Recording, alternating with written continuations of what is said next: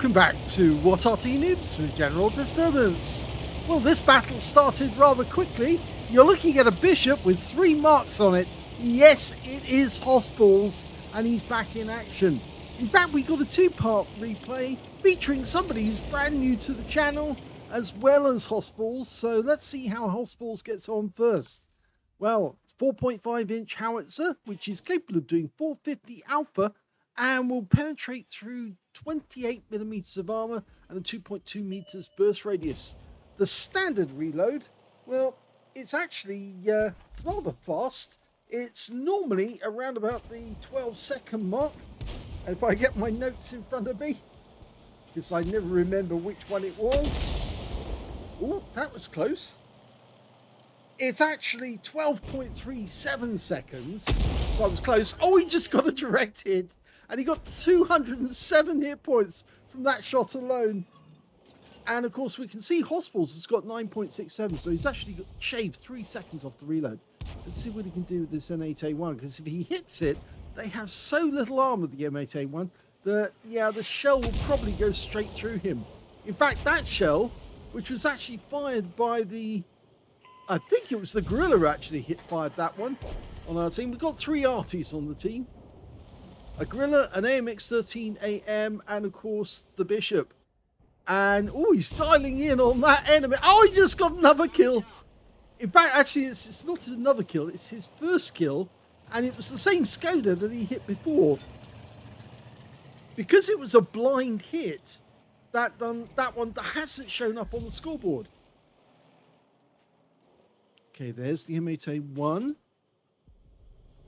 No, we're not going to get a hit. We might get a near miss, but he pulls back before the shell can be fired.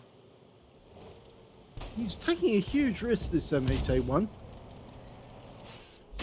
Yep, he gets something off him. Splash for 200, uh, for 200, for 33 hit points. Second round goes in. And he gets more, 87. If he gets a direct hit, that will probably penetrate him. Rounds out again. Uh, that one hits the building. There are some enemy tanks actually in sight, slightly over to the left, near the church. Oh, there's the M8A1. He fires around into the gap. Oh, big hit. 177. Now, I, is he still there? He is. And just missed him there. He was moving fast enough to get away from that shot. And he's come to the corner, but now we've got a Panzer B2 and the M8A1. Well, the Panzer B2 wiped out with one round, actually hit the engine deck, I think, and took him out that way. The M8A1's trying to help the Churchill, but I think he's going to be more of a hindrance because he's going to get in the way to that Churchill and we're seeing an SU-85i, the premium Stug, and he's gone down. A direct hit. That's his uh, third kill of the game so far for Hossballs. Okay, who's next? Well, there's a Chi-He making across the gap, and there's a v, uh, T-28E with the F-30. Well, the Chi-He then made it across the gap. He's out of the game, and that's four kills for Hossballs. He's really going for it in this game. It is a tier 5 game with tier 4 tanks in it. He can't get a shot on that Valentine. But I think he can get a shot. Uh, oh, no, he can. Rounds out. And he does get him. And that's his fifth kill of the game. One more. And he gets the top gun. He is wiping these enemies out very, very quickly. Can't get a solution on that T-28E at the moment, but Oh, maybe he will get it. Rounds out. Yes, he did get him. That's his top gun. My gun, they're killing the enemy off very quickly. In fact, there's only two enemies remaining. One of them's the Guerrilla, and the other one is a Sav. And in fact, the Sav just got wiped out, so now it's just the Guerrilla. And you can see Hossballs is racing as fast as he can to get as close to that Guerrilla as he can to take him out. But I don't think he's going to get a chance and all he would get is seven kills if he does get it. But he still wants that kill, and here comes the gorilla. He's actually coming towards us. Oh, he's stopped to try and shoot the AMX, so we fire at him, and he wipes him out. And that is the end of the game. Seven kills. Well, Hossballs was tearing the enemy apart in that game. He got a first class tanker as well as Bruiser Medal for getting at least five critical hits. In fact, he got 18. He also got a top gun for getting at least six kills. He actually ended up with seven in the end, one short of getting Radley-Walters and one short of carrying the entire team and getting more shot, more kills than anyone else, everyone else on the team combined. His win rate from that game was 5,475, which is, well, super Unicum standard and quite a bit more. Let's have a look at the team score. Well, we can see that he did the second highest damage in the game. The highest damage turned out to be the BDR G1B on his team, who got a high caliber for 2,007 hit points of damage, whereas Hossballs managed to get a top gun and 1,580 hit points. And in third place, well, that's the Churchill one on the enemy team 1,166 hit points to him. And uh, that's it. So, kills. Yep, Hossballs got seven kills. Three kills went to the Stugtai Ausstellung B, and he picked up a Pascucci's medal. So he must have killed two of the enemy RT in the game. And in third place, we've got the Fifi on the enemy team and their Grilla. Both got two kills each. When it came to base XP, he's actually in second place. So he's second place, first place, and second place on the columns. He got 725 base XP, but he was beaten by the BDR G1B, who also got the highest damage. And the third place, well, that goes to the Cruiser 4 on our team, who got 591 base. Hossballs fired only 14 rounds in the game, which is incredible, really. But the game didn't last very long 5 minutes, 3 seconds fact, this um, analysis of the end battle results is probably longer than the battle. He got nine direct hits on the enemy, four penetrating shots, and eight splash. Damage of 1,580, of which 1,512 were up more than 300 meters. So you can see there was one close shot in there, but I think it was towards the end of the game. Eight enemy vehicles were damaged, seven were killed, and he earned 60,000 and one credit profit from the game and 725, which was the base XP from the battle as well. So a pretty incredible game. I'm surprised that's not an ace tanker, but I have the feeling it might be down to the fact that there were tier 4 tanks in it. And obviously tier 4 tanks don't earn as much XP as tier 5s. And so that's why he didn't get quite close enough to get the ace, but he had a good game all the same. So let's have a look at the second replay. As I said, that is a new player who's only just submitted his first replay to be part of the channel. And yes, he goes straight into a video with Hossballs. Well, that takes some doing, so he must have done something pretty incredible. Let's have a watch of his battle. The player in the second battle is Chickens 1003 and he's located on the northeast spawn of Province in the Bishop, the tier 5 British SPG with a 4.5 inch howitzer uh, based on the hull of the Valentine 2. Game on. Well, something unusual here is that Chickens hasn't put any camouflage on his vehicle whatsoever. It's actually quite helpful just to put a layer of camouflage on the bottom of the hull because that's where it actually records the uh, the camouflage and puts it into use to hide you from the enemy. So a bit unusual because most people who play RT they do actually try to put the camo on. You saw that enemy tank, it was an AEC trying to dash across the battlefield as quickly as possible. Going down to this part of the map actually allows chickens to actually get shots on the enemy as they're coming up from the uh, down below. The only problem is, if you do get spotted by the enemy, then there's the possibility that they will shoot at you from the other side of the valley, especially if they've got a long enough arty. And the enemy team has got an M44 and an M41 HMC. But the good news is we've got a T-3485M who appeared to get fairly close. And yes, we have been spotted. So there's a big problem. The Leopard's seen us and that means the enemy RT is more than likely going to have a go. Now he's managed to get close to the house, and we can see shells are starting to hit the house. Can he get a shot? Yes, he does get a shot on the leopard. Ow! We lost the driver. In fact, we're now losing hit points to that leopard. But he's about to get hit. Yeah, he does get another hit in, but it's not enough to kill the leopard. And we have lost some hit points. So going forward actually did have a, well, not a great effect. But the enemy knows where we are, so we have to move away from the spot. You can't stay in the same spot after you've been seen by the enemy. And oh, what did he do there? He actually shot at one of his own teammates and hit the T-14. And I guess that may have been that the T-14 didn't do his job to try and stop that leopard getting a hit. He fires a snap at the Firefly 5C. Didn't get that. You know that you really shouldn't hit your own teammates, no matter what the provocation. If you do, you disqualify yourself from getting any medal from a high caliber, rather. You can still get a medal for something like a Top Gun, but you won't get a high caliber medal the moment you actually hit one of your teammates, because there is a um, a, a mechanic in the game which Wargaming put in quite some time ago, saying if you hit your own teammates, forget any uh, medal for high caliber.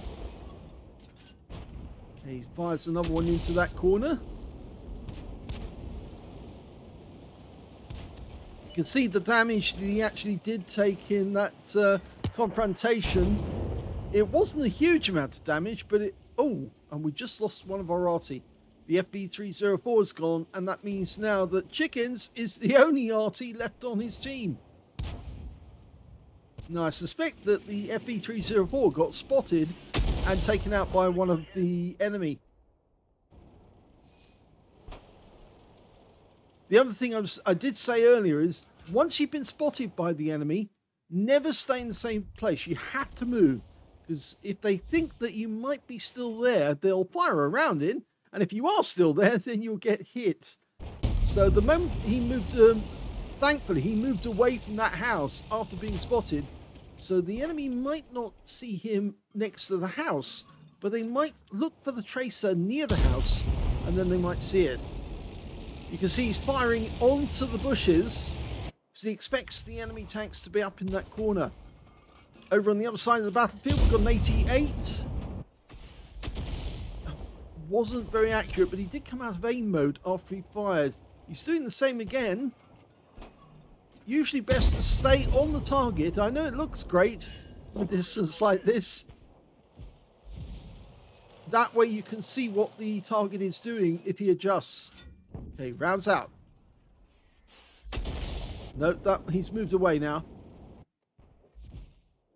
But he's got a flattened reticule, which means he's at maximum range there. And he fired, well, a snapshot in just to see if... And it looked like he actually hit something there. He briefly stayed with it for a brief second, and I think the shell did, didn't explode. So I suspect he did actually hit the 88 there. Now, the one thing about the Bishop is you only get 39 rounds of ammunition, and that can be a bit of a problem because he's down to 23 already. He's used up 16 if you blast away with blind shots, oh, he did get one there. If you blast away with blind shots, you might actually run short on ammo. Okay, VK3001H, which is a 30-ton tank, rounds out. Yes! This is what the Valentine's built for, because that guy's hiding behind the rock, but he's close enough that we can loop the shell over the rock and into the VK. And that's a good hit there. 159, got track damage as well. The guy's a one shot now. Next shot will kill. And he got him! That's his first kill of the game for Chickens. Now, there are damaged enemy tanks up there because he did fire into those bushes and get a blind hit, but I think they're staying away from that spot now. He's gone back to the, the other bushes. Oh, he got a kill! He took out the T-14 with a blind shot. So the guy was there and was sitting next to the bushes and he paid for it because of course he got wiped out. There's a T-34, very low hit points. He drives back into the shell and he's got his third kill. Now, you might get spotted if you go over this direction. The tree's down, which actually does provide some cover. Somebody must have knocked it down for a bit of help. But there's the 88, and he is very low on hit points. No, just missed. Don't back up too much, because you might get spotted by the guys. Well, actually, the all the enemy in the south have been wiped out, so you can't be spotted by them now. I was wondering if that might be the reason why it didn't go off and give a sixth sense warning. He's having a look round. There's no enemy tanks to the south. No, they're all on the other side of the battlefield at the moment. They're one up on us at the moment.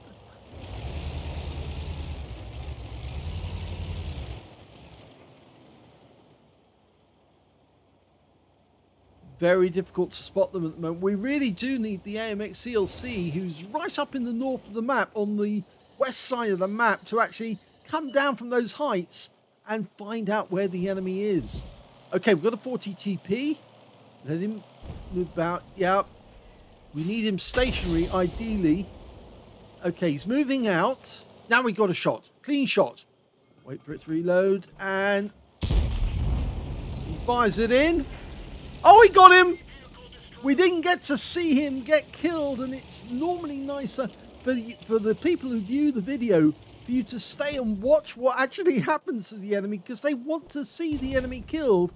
And also they want to see if you get a blind shot uh, hit just like you when you hit the T14 you didn't see that shot. You only you looked at it from a distance and fired. And it would have been nice to see that T14 suddenly explode and be visible again. Okay, so there are a few enemy tanks now on our side. The Stug well, he's getting close. We're also running short on ammo. Only 10 rounds left. So you have to be careful. Don't want to run out. Stug's backing up. As far as we can see, he's got a friend with him, a Juno, who was down at the base. That's that new heavy tank, the Japanese heavy tank. The good thing about this battle is that Chickens has landed in a tier 6 game with tier 5 tanks in it, which means that he is going to be earning extra and the Stug's on fire and it's still burning. It's still... Grabs out. And he got him! wow. Landed the shell on the engine deck and got himself a fire and then fired the kill shot, the coup de grace, in and took the guy out. Now, can he get a shot on that Juno? He's popped up suddenly. He's on the road on the way up. The amusing thing is we've got an M6 below him and the Su-85 above him. As you know, the Su-85 85mm gun, it's the Soviet version of the Stug. Although they never actually built them, it supposedly was for those Stugs that the Soviets did capture and then repurpose for their own use. Unfortunately, we just lost the M6. But that was a good hit into the turret. So, can the Stug survive? Trying to line a shot up on the Juno. No, it wasn't fully dialed in. He's moving about quite a bit. That's why the rescue's moving about. Okay fires and we've lost the Su-85I. So now the scores are even, except the enemy team got two RT, we've only got one. He fires one into the gap. Well, the problem is now he's very, very low on on shells. He's only got three left out of that entire magazine of 39 and that makes him a bit vulnerable. In fact, at this moment, I would say the best place for him would be to join the M10. He's asking the M10 to support him, but it might be better if he had the support of the M10 because he's got the M10's got better view range. He's only got a view range of 250 meters. The M10's much longer view range. On top of this, he's low on hit points. If the Juno finds him, it would only take one shot to take him out, I think.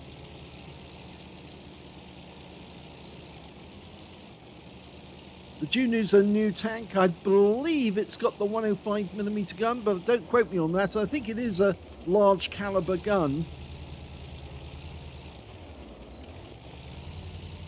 Here he comes.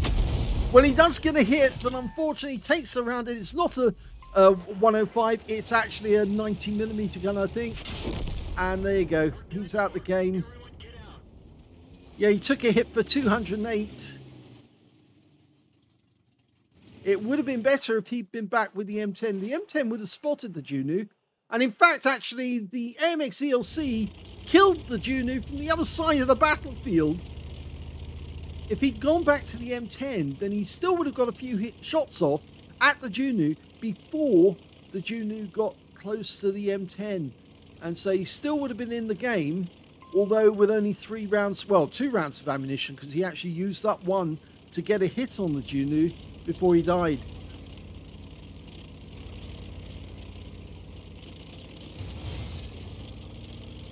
Well, the last remaining enemy tank is a T-67 and an M41 HMC. I suspect that the M41 is waiting around here in the bushes to get a shotgun.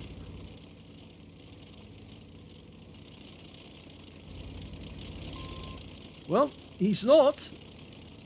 And we haven't heard of a sixth sense going off, so it seems to me that they are hiding. There's the M41. He's up on the cliffs. Yeah, AMX seen him. He's going to finish him off. He's got a 90mm gun, so he can do the necessary on the M41. The M41 goes back into cover. We're down to the last two minutes of the game. I think the T1 needs to stay in cover. I'm not sure if that was a shot that was just fired at him. It wasn't fired by the um, by the enemy M41 HMC, and I don't think he could actually splash the T1 unless he goes down to the right to the far end. But then he would be vulnerable to the uh, AMX. Yes, he missed. He didn't get close enough. And here comes the M10. And it looks like the T67's coming in to try and get a reset and he takes a hit, and there's the reset. But I think the T-67's tracked, and now he's done for. Okay, so we're firing HE rounds at that T-67, and he's getting shot after shot in, but he gets the kill. Now that means it's only the M41, and he's gone, and that's the end of the game. Here's the end of battle stats, and that was an ace tanker game for Chickens 1003 in the Bishop. He managed to get a fighter badge for getting at least four kills. In fact, he got five, one short of getting a Top Gun and one third of the enemy team. He also got a Bruiser medal for getting at least five critical hits. In fact, he got 19. And he also got a win rate of 10,311, which is Super Unicum standard and quite a bit more but sadly he did get wiped out in the game and I think that was a tactical error. He should have gone back to the M10 and then with the M10 he could have got more shots on that Junu and stop the Junu from getting close to him. I did check the Junu. It's a new tank. It's just come out. It's got an 88 millimeter gun and 230 alpha. So yes, he was bound to get wiped out with just two shots from the Junu, and that's what actually happened in the end. And he'd already taken some damage anyway from the leopard who popped up earlier. But uh, yes, it's better not to confront a heavy tank uh, if you're in a, an RT. If you've got somebody who can act as your eyes from a distance, then they can help you to get damage on the enemy as they approach you. He only had two shots left anyway, but if he'd actually kept that third shot and gone to the back of the map with the M10, then by the time the Junu came close, he would have got those three shots in and po- possibly even finished off the Junu altogether. So let's have a look at team scores and see where he was. Well, this is interesting because look at this. You can see now that Chickens actually got 2,448 hit points of damage, which is the highest damage in the game. But he was denied the high caliber because he shot at his teammate in the T14. Yes, so there you go. You cost yourself a medal there by actually shooting at your teammate. The high caliber actually went to the Juunu. He got 2,241 hit points of damage, slightly less. He was in second place on damage on the game, but he got the medal instead of uh, Chicken's 1003. Anyway, when it came to the third highest damage in the game, that went to the T67 on the enemy team. He got a defender medal by resetting the cap on the T1 Heavy and 1,469 with the ELC on our team, who was across the valley, got the Orlik's medal and a Vespucci medal. So he got both enemy artists and he took out higher tier opponents. He got 1,365. When it came to kills, we can see top scorers were Chicken 1003 and the Juunu. Both got five kills each. Four kills went to the AMX who was still alive at the end, and three kills went to the 40 TP on the enemy team. Now, that guy was a bit silly because he actually moved out and gave Chickens a perfect shot to actually lob the shell over. But I would say to Chickens, please stay with the vehicle when you aim at it. We want to see the enemy vehicle explode or to see where the shell falls in relation to the enemy vehicle if it doesn't hit the tank. Or if the enemy tank is a blind shot, then if you uh, see the shell disappear and then suddenly it gets declared as a kill, you know you got a blind kill out of the game. You did actually get a blind kill on that enemy T14 who happens to be just below the 40 TP. So just a little hint uh, for our videos, because I'd always say to people who look away after they shoot that you're actually denying the viewer a good sight of what you've actually done. You need to see what happens to the enemy tanks. So when it came to uh, the base XP, we can see, yes, it's Chickens 1003. He's the only player to get over a 1,000 base in the game, 1,101. Second highest goes to the AMX ELC with 941. And third place, well, was that M10 RBFM. He did come through for us in the end because he actually got rid of the M41 HMC. He got 819 hit points of damage in that game. So let's have a look at detail. He fired 37 rounds. Well, he still had two rounds left at the end of the game. He did use a lot of rounds. Surprisingly, a lot of his blind shots actually did hit targets because he did fire a lot of blind ones. He got 17 direct hits on the enemy. None of them penetrated, but he did get splash on 24. So some of those blind shots definitely worked, especially the T14 kill. 2,448 hit points of damage, of which 2,002 were at more than 300 meters. Well, a few of those were shots across the valley, but most of them were the enemy tanks that were actually hiding down at the south end on the east side of the map. He managed, uh, he did receive six hits from the enemy, four penetrations, two splash hits as well.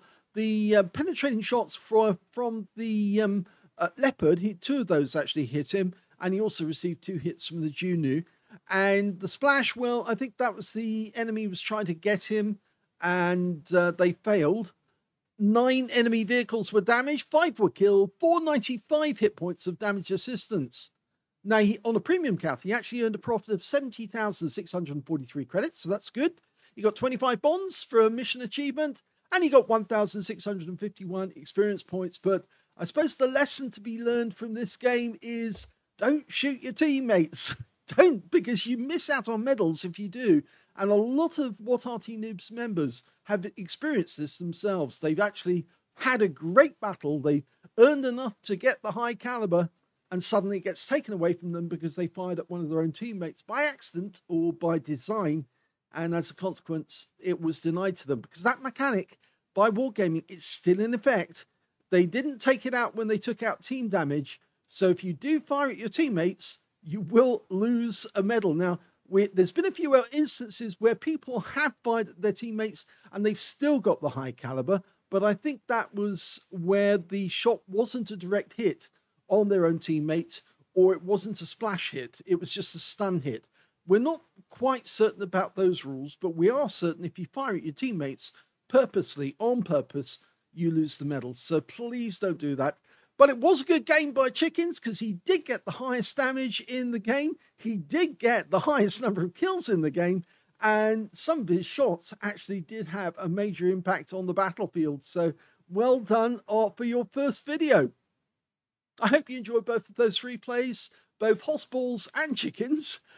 And I think we're going to get used to those names appearing quite often If you did enjoy this one, please give it a like, do subscribe to our channel, leave a little comment down below because it feeds the algorithm, and thank you for watching!